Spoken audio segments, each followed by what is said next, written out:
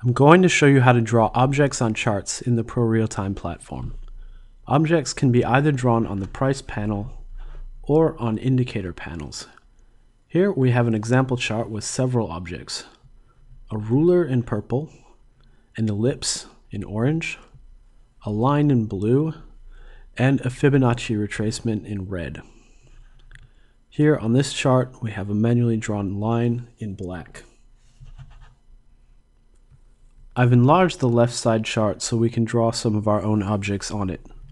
Objects can be added either from the Objects toolbar, shown in the main window here, or from the Objects menu. The Objects toolbar can also be shown directly on charts when they are maximized using this button here.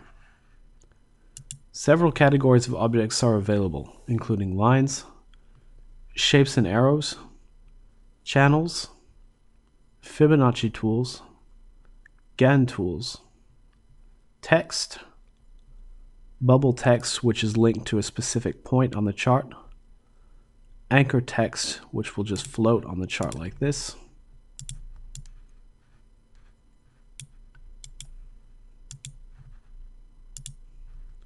cursor mode which is the default mode, ruler mode is useful for measuring the distance between points, for example, here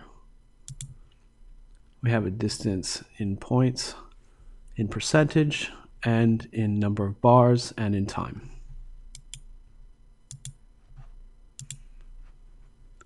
Alert mode lets you place alerts on the charts. Zoom mode lets you zoom on a specific period of time. For example, in between these bars I've selected here.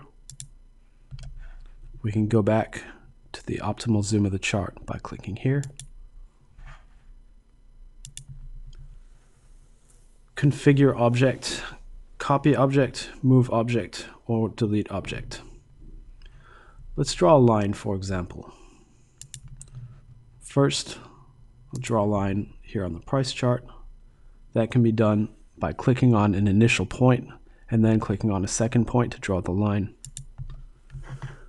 You can also draw lines and other objects on indicator charts. I'm going to select the line again from here.